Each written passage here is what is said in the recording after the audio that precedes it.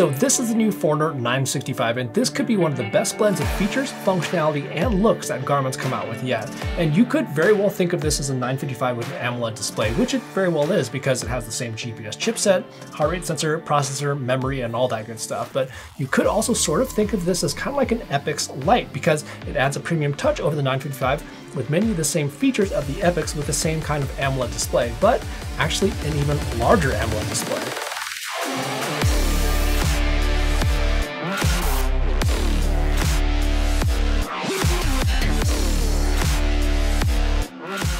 Now, before we get into all the details about this new Forerunner 965, it actually isn't the only new watch that Garmin's coming out with today, so they're also releasing the new Forerunner 265, which is essentially an AMOLED version of their Forerunner 255 music, but there are a couple new things that they've added to the 265 too, so I've got another full in-depth review of the 265, which I'll have linked down in the description below. And I know some of you out there are probably curious about the differences between the Forerunner 265 and this new 965, and don't worry, I've got another full in-depth comparison for you two of these two watches, so go ahead and check out those videos once once you're done over here. So last year we saw Garmin's Fenix lineup get an AMOLED version of that sports watch, that being the Garmin Epix, and this time around they're bringing around the Forerunner 965 and the 265, which are AMOLED versions of the Forerunner 955 and 255, which also came out last year. And I'd have to argue that the Epix kind of made a big splash because the Fenix lineup has had memory in pixel or transflective displays for years and years, and same thing goes for Forerunners. They've had tried and true transflective displays forever, with those displays having some distinct advantages for outdoor sports, namely very good readability outside, especially in bright conditions, but they also don't consume much power, so you could get battery life into the weeks or the months depending on the watch. The nice thing though about what Garmin's done with these AMOLED displays is that they've been able to deliver quite decent battery life out of them with their Venu series as well as their Epix. Not quite what you can get out of a transflective display, but much better than other smartwatches with similar display technologies like an Apple Watch or a Samsung Watch. And based on the popularity of the Epix and Venu series, they're now introducing the Forerunner 265 and 965 with the same sort of AMOLED displays. But with the 965, it's actually the largest AMOLED display they have yet at 1.4 inches. That's right, that's actually larger than the 1.3 inch display on the Epix. And it's actually the same dimensions as the Fenix 7X or Enduro 2. But since the 965 uses an AMOLED display, you're getting even more pixels and much more detail on all parts of the interface. The Epix display is already a very good display with 416 by 416 pixels, but the 965 display, being slightly larger, has a whopping 454 by 454 pixels, and you'll, you'll really notice those extra pixels, especially with maps. And when compared with the 955, well, there's certainly going to be a difference comparing the 260 by 260 transflective display on the 955 versus the display on the 965. And of course, with all those extra pixels, you'll be able to see emojis in all their full glory. When it comes to readability, transflected displays certainly do have their place, especially outdoors where they really are great, especially in bright sunlight, but the 965 display is still really good because it gets really bright. There can be a little bit of glare at some angles, but overall it doesn't really affect readability all that much. The nice thing is, is that you do have either display option, of course, with the 955 or the 965, and, and I actually went through a lot of the benefits and drawbacks with each kind of display technology in a recent video where I compared the Garmin Epix to the Garmin Fenix 7. But what you also notice here too is that they revamped the interface a bit on the 965 from both the Venu as well as the Epix.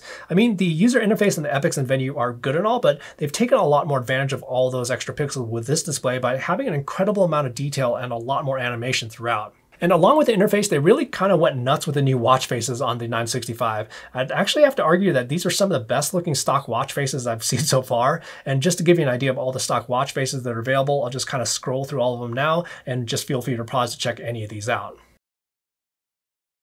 And then just like the Epix and the Venu series with their AMOLED displays, the 965 also comes with an optional always-on display mode, which works with both the watch faces as well as during workouts, so you'll easily be able to take a glance at your watch without having to turn your wrist, but that does take a bit more in terms of battery life, which I guess now is a good time to talk about battery life. So these bright AMOLED displays are incredible to look at with all these vibrant colors, but one drawback to these kinds of displays is that they do consume more battery life than the memory in pixel or transflective display technology that's found on the 955, but somehow Garmin was actually still still able to pull off some very decent battery life out of the 965 with up to 23 days in smartwatch mode if you're not using the always on display.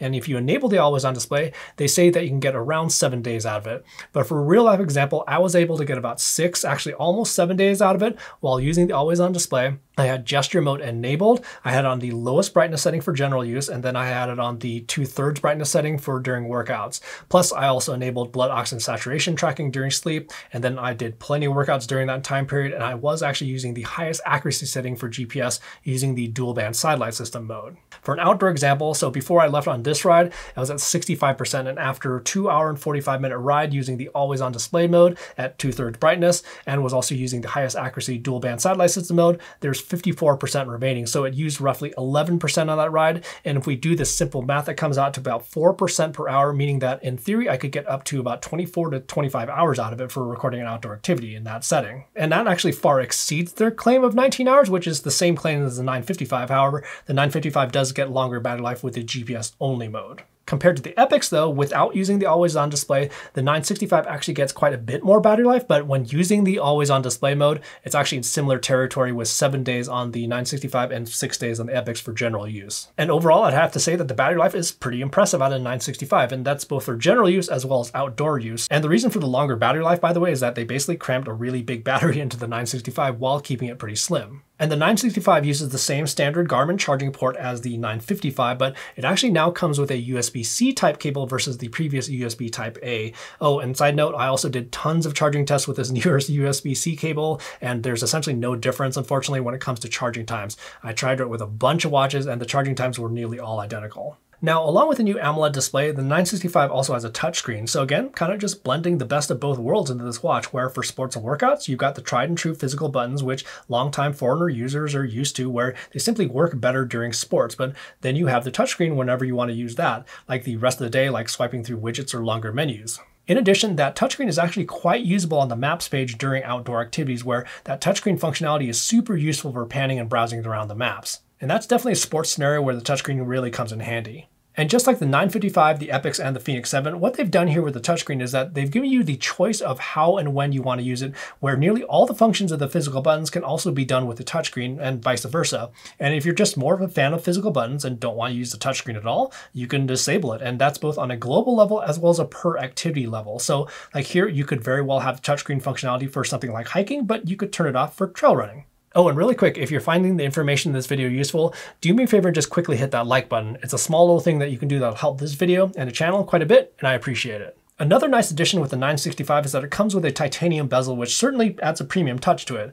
I mean, the 955 is a good looking watch and all, but the titanium bezel really does elevate the 955 a bit in terms of looks, and is another reason why it gets a little bit closer to something like the Garmin Epix. The 965 uses Gorilla Glass 3 to protect the display, and you also notice that slightly curved at the edges, which is a little bit different than the completely flat displays on the 955 as well as the Epix. And in terms of durability, the Gorilla Glass 3 has held up just fine with all my testing. But if you are looking for the most durability, you may want to look at something like the Epix Sapphire. However, that does come at a much higher cost. Another difference is that the 965 is just a smidge larger than the 955 in regards to the case diameter, where it has a 47.2 millimeter case versus the 46.5 millimeter case on the 955. And the 965 case actually is quite similar to the Epix, by the way, at 47 millimeters. What's nice though about the 965 is that they were able to reduce the thickness by over a millimeter, where the 965 is around 14 and a half millimeters thick, and the 955 is a little bit over 15 and a half millimeters thick, and that's including the heart rate sensor, by the way. Without the heart rate sensor, the 965 is around 13.3 millimeters thick, and the 955 is around 14.3 millimeters thick. And then for comparison, the Epix is around 15.7 millimeters thick with the heart rate sensor and 14.5 millimeters thick without the heart rate sensor. And then for weight, the 965 comes in right around 36 grams for the case itself and a little under 53 grams for the total weight with the band. For comparison, the 955 Solar weighs virtually the same at 36 grams for the case and then a little over 53 grams with the band. And then the Epix case weighs around 47 grams and the total weight of the Epix with the band weighs around 70.7 grams. And for wearability, I actually quite like these dimensions for my 185 millimeter circumference wrist. For me, I've always preferred the 47 millimeter case option on the Epix and the mid-size Fenixes to be just about right, but I also noticed the thickness and also the weight on those on occasion. And with the 965, I actually like the slightly larger case than the 955, along with that awesome 1.4 inch display, of course, but I also really appreciated how they reduced the thickness. That thinner case really does make it nice, especially with sleeves, where it just makes life a little bit easier and being lighter than the Epix, another reason that you can kind of think about it as an Epix Lite. Now, the 965 only does come in one size though, which may make it less appealing for those of you out there with smaller wrists. So that's where you may need to consider the slightly smaller 955 or even the 265, which comes in two different sizes. But the 265 doesn't come with maps and a few other features, which I go over all those differences in my 265 versus 965 video. The band that comes on the 965 is a slightly new design than the 955, and it has this kind of duotone look to it, and also has a little accent on the end of the strap. These aren't necessarily industry standard straps, however, the 965 actually is compatible with Garmin's QuickFit 22 bands. So what you have to do here to make this work is that you just remove the stock watch band that comes with the 965, and you have to use some sort of tool that's designed to remove watch band pins, reinsert the pin back into the case, and then you can just pop on a QuickFit band like this one that I have from the Garmin Epix. And then on the training feature side of things, so just like the 955 and the Epix, the 965 comes with a ton of training and performance feedback features where it can track your VO2 max for running and cycling. It has a race predictor for common running and race distances. You get training status, which is based on numerous factors, including your VO2 max trends, your HRV status, and acute load. Plus, you also get training readiness, which takes into account your sleep, recovery time, HRV status, acute load, sleep history, and stress history to assess how ready you are for your next workout. But a new feature that's coming out with the 965 is a new load ratio figure. So what this does is it compares your acute load or short-term training load over the last week or so with your chronic load, which is your long-term training load over the last month or so. So basically it's saying how your most recent training compares to your longer term training. So like here, you can see that I haven't been training quite as much this week compared to what I've done in weeks past. Oh, and the load ratio feature as well as the altitude acclimation updates will be coming to other higher end models like the 955, the Fenix 7, and Epix later this year via software update. Something else new is that now you'll be able to collect advanced running dynamics like vertical oscillation, vertical ratio, and ground contact time without having an accessory. Previously, to get these metrics, you actually had to wear an accessory like the HRM Pro heart rate strap, but now it collects all those metrics from the watch itself. One thing to note here though is that the only metric that isn't calculated by the watch itself is ground contact time balance, and that's where you'll need an HRM Pro or an RD pod. And related to that, another thing that's sort of new, at least from when the 955 was first released, is that the 965 collects wrist-based running power, but this was something that was actually added to the 955 since it was first launched. And then on the health and wellness tracking side of things, it tracks your heart rate, of course. It tracks your SpO2 or blood oxygen saturation levels. It also has Garmin's advanced sleep tracking with sleep stages. It also tracks your HRV or heart rate variability, but just note that it does not have the necessary hardware for ECG like on the Venu 2 Plus. And then on the sport profile side of things, just like the 955, you get pretty much anything that you can think of from all the common activities like running both outside and inside, cycling profiles including road biking, mountain biking, and gravel biking, indoor cycling with the ability to pair with smart bike trainers, pool swimming and open water swimming, triathlon and multi-sport modes, plenty of gym profiles, lots of outdoor recreation profiles like skiing and snowboarding, indoor climbing as well as bouldering, as well as stuff like tennis, golf, stand-up paddleboarding, and even disc golf. Where the 965 differs though when compared to the Epix is that it currently doesn't have a few activity profiles that are found in the Epix, namely the kiteboard profile, the windsurf profile, surfing, adventure racing, as well as expedition. And the 965 also comes with full-blown topo and landscape maps just like the 955, but the big difference here is that the maps look pretty amazing with this AMOLED display where there's just tons of contrast and the details just pop with all those pixels. And then similar to the 955 as well as the Epix Sapphire, the 965 has 32 gigabytes of storage which can be used for both maps as well as music. Oh, and yep, the 965 also does have support for offline music storage and playback without your phone with music services like Spotify, Deezer, and Amazon Music, and you can store up to 2,000 songs on the watch itself. And then on the GPS side of things, the 965 comes with the same dual band satellite chipset as the 955 as well as the Epix Sapphire, where it can access five different satellite systems, but along with that, it can also access two different satellite frequencies at one time. And what's nice about the 965, just like the 955 and the Epix Sapphire, is that it also has their auto select or SatIQ option. So what this does, instead of always putting it into their highest accuracy setting, which takes more battery, you can use the auto select or SatIQ option. And what this does is automatically switch between satellite modes. So if it senses less less of a quality satellite signal, it can switch from a single frequency mode to a dual frequency mode and vice versa, which results in battery life savings. Now, for the GPS test that I have for you, I actually wanted to see how accurate it was using the highest accuracy setting compared to some of the other devices. So I had it locked into the dual band mode for all of these tests. But if you want to get an idea of the auto select or SatIQ accuracy versus dedicated dual band, I actually have a video where I went over all that with the Garmin Enduro 2 versus the Coros Vertix 2, which I'll have that video linked down in the description below. So in regards to accuracy on this run here, all good stuff on the 965. It lined up perfectly in regards to the total distances compared to the other devices I was using that also have the dual band satellite chipsets. And then for the finer detail of the GPS tracks, what you can see here from a high level is that all the devices really did fine here, but if we zoom in, we start to see some differences. So what I really want to point out is over here when I was on some curvier paths, and we see that the 965 was, in the whole scheme of things, the most accurate of the bunch, where it was tracking nearly exactly where I was on the path. It was actually really impressive how well it tracked along these sections. And then for a longer example, here's a road ride. And again, the 965 was right in line with all the other test devices. And then I also wanted to point out that the elevation gain collected with the barometric altimeter was also pretty much spot on with Strava's corrected elevation figure, as well as the other devices. So all good stuff there. And again, if we take a look at the finer detail of the GPS tracks, quite good to go. And you can even see on some of these out and back sections on the same road, it was easily able to distinguish between one side of the road versus the other.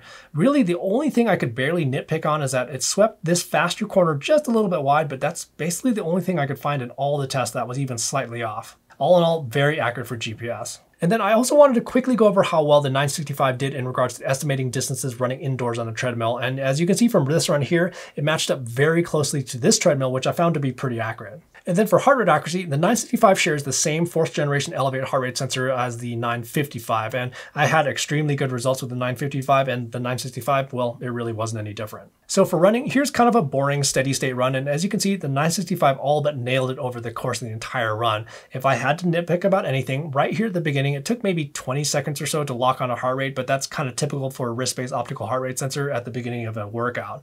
But after that, it didn't really falter one bit. And then moving on to some indoor cycling, well, this is essentially perfect. And this even had plenty of rapid changes in heart rate during some intervals. I mean, this is kind of a thing of beauty. Now with road biking outside, it starts to introduce a lot more variables for a watch to deal with, like vibrations and bumps on the road, which can throw off these kinds of sensors. But as you can see, the 965 was pretty respectable here. You'll definitely notice a bit more shakiness here and there where it's not as exact as that indoor ride that we saw earlier, but that's about to be expected. And then I did notice that in a couple of these spots where I stopped and restarted, it tracked a little bit low for a moment or two, but other than that, this is a pretty good result for road biking. So this new Forerunner 965, well, honestly, I think it's a pretty killer combination of all the sports functionality of their highest end Forerunner, the same type of gorgeous AMOLED display that's found on the Epix Venu 2 Plus, but it's actually a little bit larger, and a more premium look with that titanium bezel. To me, this actually kind of sits in between the 955 and the Epix. It may not have the durability of the Epix, but for those of you who live without the sapphire lens option and a bit more metal in the construction, but still want a super capable watch with an awesome display for a much lower price tag than the Epix, I don't know, I think this can be kind of hard to go wrong with the 965, and uh, personally, I actually really enjoyed my time with this watch. Now, in terms of price, the 965 comes in at 599, which is $100 more than the standard Forerunner 955, but the same price as the 955 Solar. Considering the titanium bezel and the slightly more premium look, along with the AMOLED display and some very respectable battery life, I think that's actually a pretty reasonable cost. What's great though is that the 955 isn't going away or anything like that, so for those of you who prefer transflective displays, that option's totally there, but for those of you who want the bright and crispy option, well, there you go. And yeah, if you have any questions about the 965 that I didn't cover in this video, make sure to leave those in the comments section down below. And on your way down there, if you found the information in this video to be useful, do me a favor and also hit that like button.